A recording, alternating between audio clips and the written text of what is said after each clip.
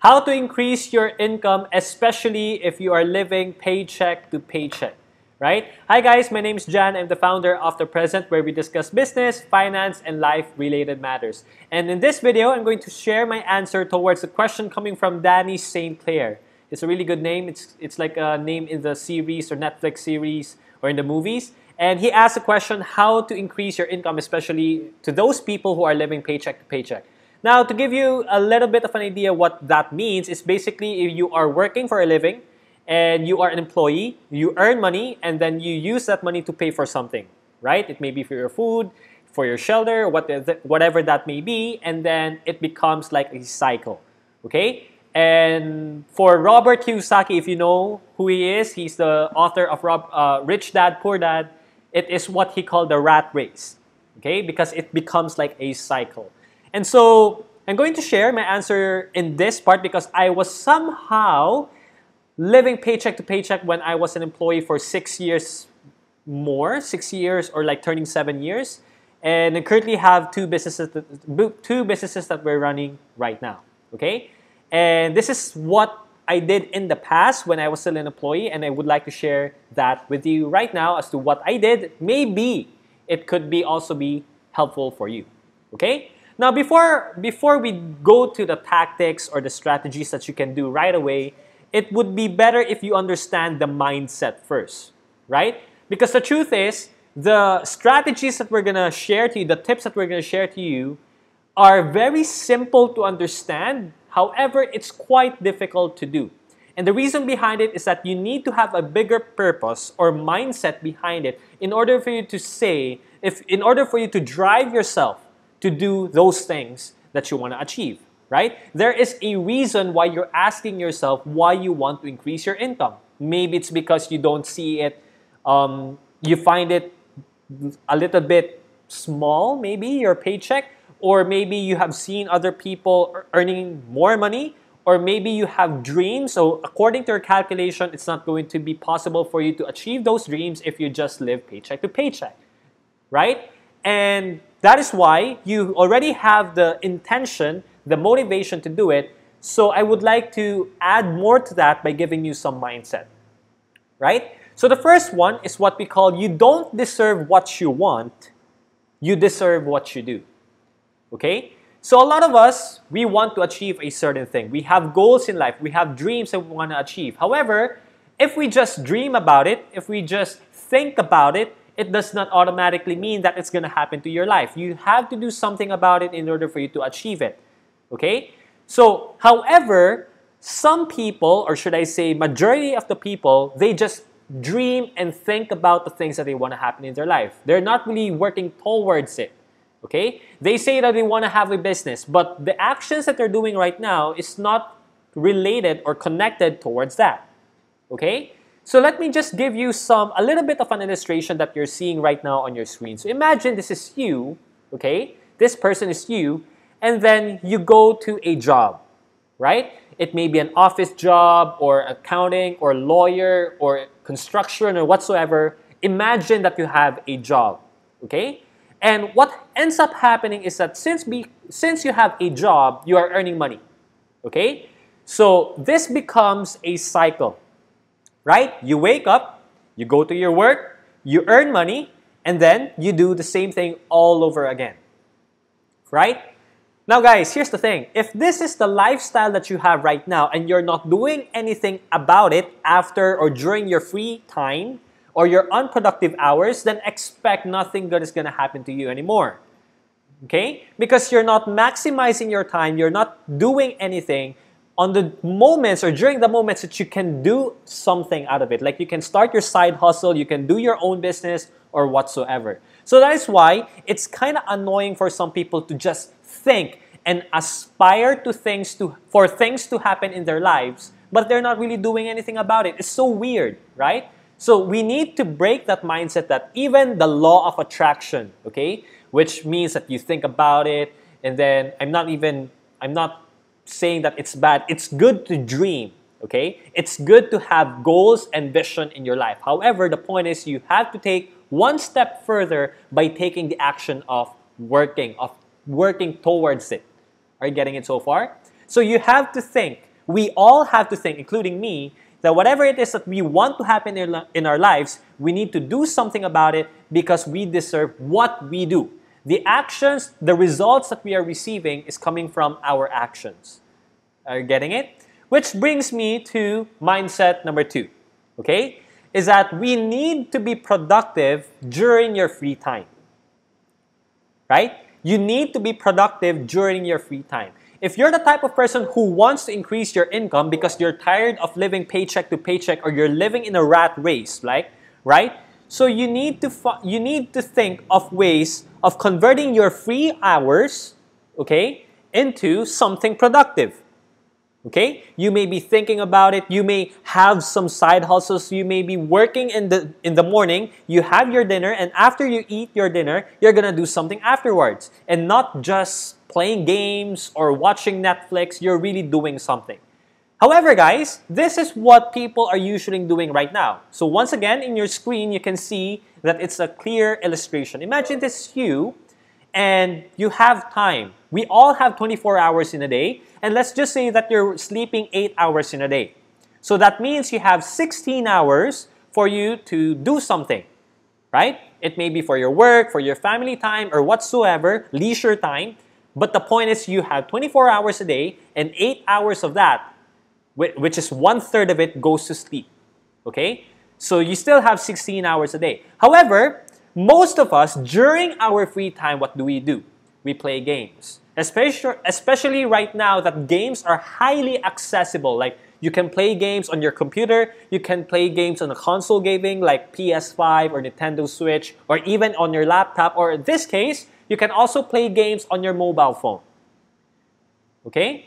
So, what you're doing is that during your free hours, you are using that for leisure. You are losing you're using that for your entertainment. So, the problem with that is that it's not generating you any income. Now, I'm not saying it's bad. It's good to have leisure time. It's good to have like um, some sort of a break right? From all the real world situations that's happening in our life. However, if you have the motivation, if you want to do something even bigger in your life, okay? You're tired of your boss or you don't like your job but you're complaining about it, but you're not doing anything about it. Once again, you deserve what you do. And so this is how majority of the people in the world are living their life. They don't like their job. Most of them don't like their job. But after they clock out at 5 p.m. or 6 p.m. or whatsoever, they eat dinner and then they play or do something fun so that to escape the real world. That's the current situation that's usually happening. What if let's try to change our mindset towards it like instead of us entertaining ourselves so that we can quote unquote escape the real world for the next three to four hours, how about we, we still embrace the real world by doing something that we like, by doing something that we are passionate about, however, it can generate revenue. Okay, so that when the time comes that you want to leave your job, you already have a plan B because you already work towards it when during your free time right? So imagine this is another situation. So you have 16 hours in a day. You go 8 hours a day for your sleep, 8 hours a day for your work. So that means you have 8 hours extra. So let's just say you spend around 3 hours for your um, meals, transportation time. So that leaves you with 5 hours remaining. The 5 hours remaining, what you can do is you can have a side hustle. Right? Especially right now that there are online jobs available, all you need to have is a computer and an internet connection. So what ends up happening is that because you spend five hours a day, right, or four hours a day to generate more revenue, that's one of the ways that you can generate more income. So you are converting your unproductive hours into productive hours. This is actually what I did way back, right? When February 2018, we started the business the present in this channel. This this is the channel on Facebook. We are also active on Instagram, YouTube, and now we're exploring TikTok right? So what before I was actually an employee. The present was a side hustle. But eventually, as I was doing it together with my wife, back then she was my girlfriend, now she's my wife. So after a few months or years even, it blew up. Then we got clients. A lot of people are watching our videos, especially on Facebook, and that became a full time business. But where did it start? It's a side hustle. So during holidays, during my free time, or during like weekends, that's what I did. Instead of entertaining myself, what I did was to work in my business. Get it? So that's mindset number two. You have to change your mind that instead of wasting the free hours that you have, you can convert it into something productive. Which brings us to mindset number three. Okay? Invest in yourself and growth funds. This is another approach that you can do, uh, meaning to say that instead of you just working, you can also educate yourself so that you can you can think what you can invest in so that eventually you will have a growth fund and that becomes your retirement account. Okay? So it's the same thing. You have eight hours a day for your sleep, eight hours a day for your work, and then you still have additional eight hours. So that's going to be used for your education. Right? You watch YouTube videos, you go through an online course, or um, you, you research Google, right? You research about the stock market, and then what you're going to do is every month you're going to set aside a certain amount so that you can invest in the stock market or so on and so forth just for you to have a growth fund, right? And eventually that investment of yours will convert into money if you're doing it right. Okay? But the best investment platform of all, guys, there are a lot of investments that you can you can actually choose from. We have the real estate, business, stock market, mutual funds, ETFs, cryptocurrency, and whatsoever. But the best investment of them all is actually investing in yourself. Okay? This is not a cliche, that's just the truth.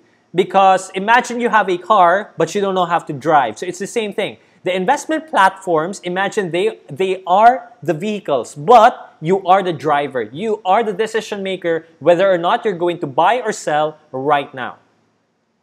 Okay? So that is why investing in your education, your financial education, in your business education is very important, especially if you have the motivation and the drive to increase your income. Okay? That being said, just want to invite you that this coming February 27th, 7.30 p.m. PHT, Philippine time, this is 2021 by the way, maybe you're watching this on 2022, um, we have a webinar. We have been invited by July Two. This is also a company and the topic that I'm going to share is how to make money with your skills in 2021. As you can see here on your screen, there are also there's also a chance for you to win the following prizes.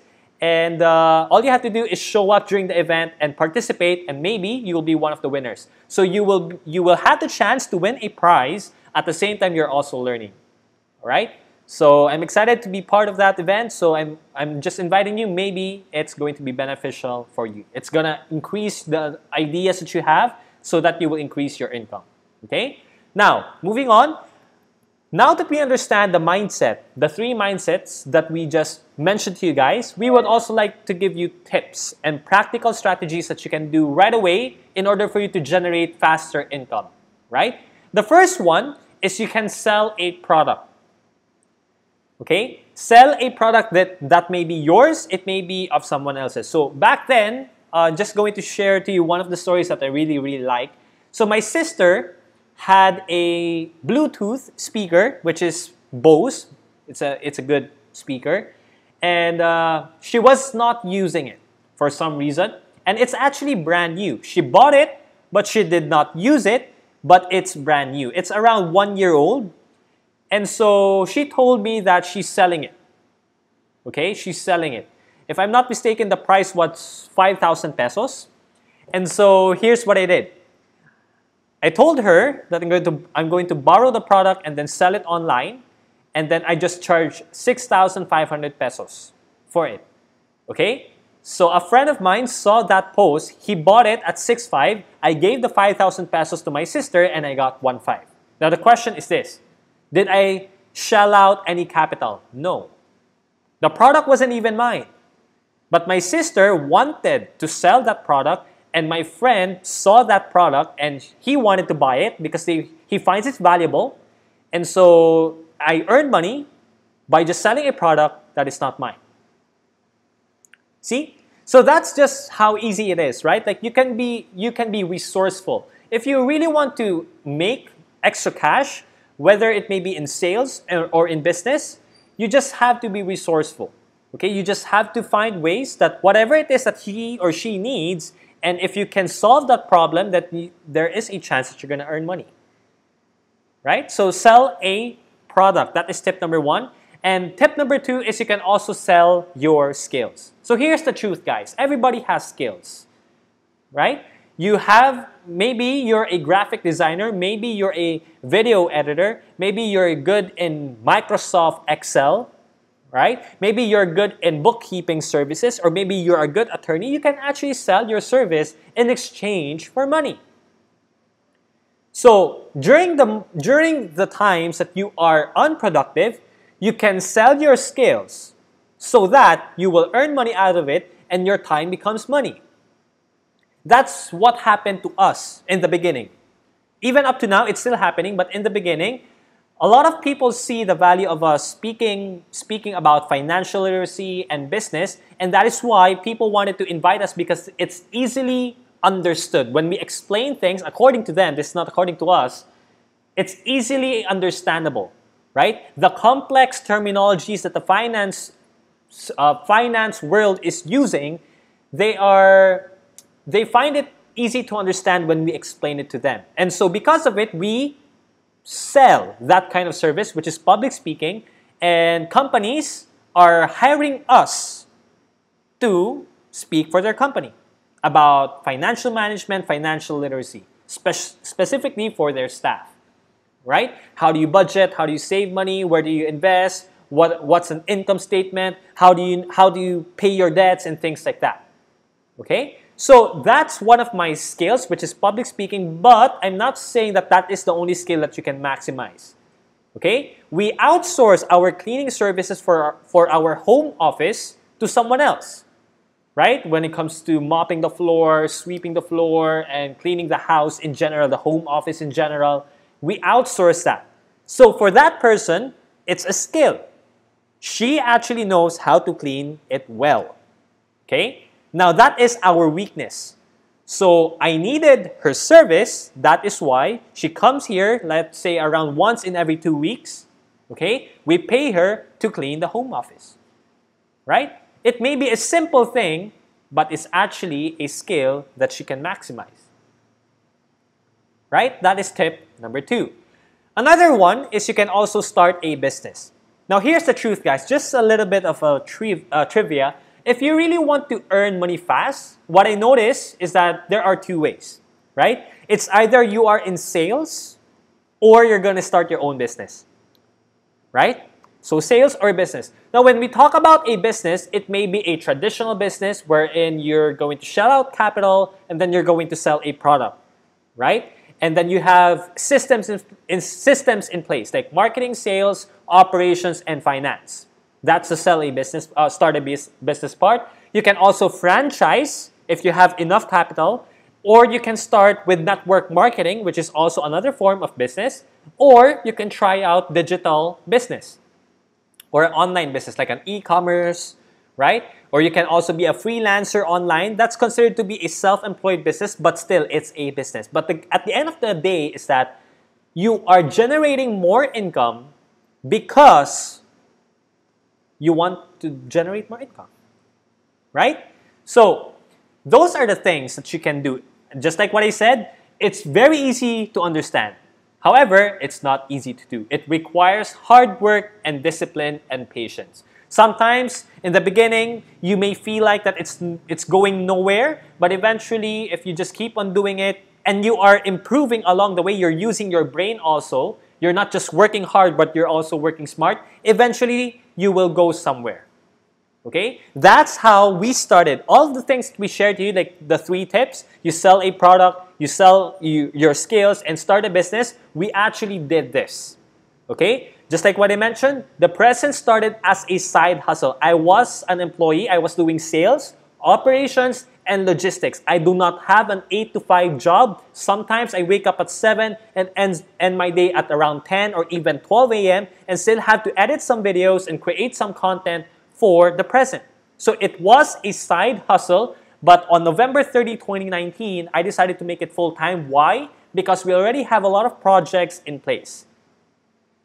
So the side business became the main business. And because of that, we started another business, which is into the digital marketing agency. So we currently have two businesses, but the point is, you can make a lot of things happen if you just work towards it and you're working hard and you're working smart. Going back to the mindset number one, you do not deserve what you want, you deserve what you do. Okay? So, I really hope that this video added value to you in any way. If this, if it does, right, or if it did, feel free to click the like button. And I would like to ask you a similar question that Danny St. Clair asked us. Okay? So the question is, how can you increase your income stream? In your own opinion, what are the ways, creative ways as much as possible, for us to increase our income stream?